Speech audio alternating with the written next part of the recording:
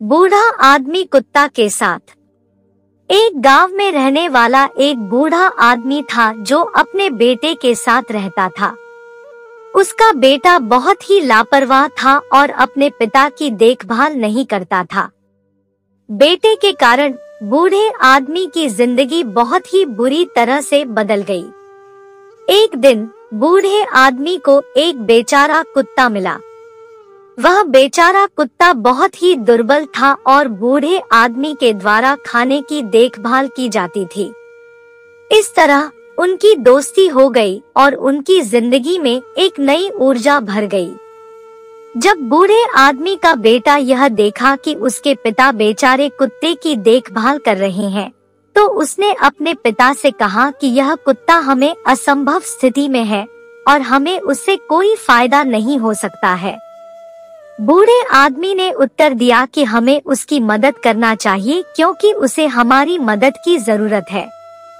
कुछ दिनों बाद, उन दोनों को एक बार फिर से असंभव स्थिति का सामना करना पड़ा। यह कुत्ता अपनी दुर्बलता के कारण खुखारिश में था और बूढ़े आदमी ने उसे नहलाने ले जाने का फैसला किया।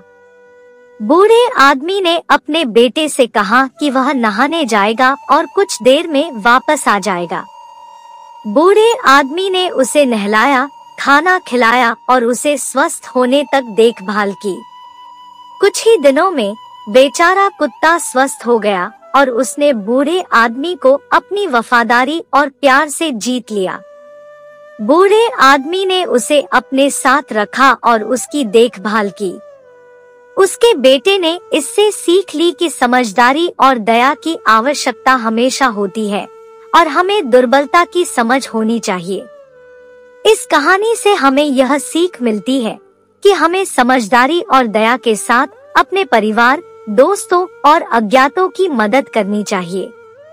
हमें दूसरों की दुर्बलताओं के साथ संवेदनशील होना चाहिए और उनकी मदद करनी चाहिए। यह कहानी हमें यह भी बताती है कि प्रत्येक जीव का जीवन महत्वपूर्ण होता है और हमें सभी जीवों के साथ संवेदनशील होना चाहिए। तो मित्रों, यह छोटी सी कहानी आपको पसंद आए हैं तो प्लीज़ चैनल को सब्सक्राइब करें, साथ ही ऑल नोटिफिकेशन को सेलेक्ट करें ऐसे ही नई नई कहानी सुनने के लिए। मैं मिलता हूँ एक और नई कहानी के साथ, जब तक के लिए नमस्कार।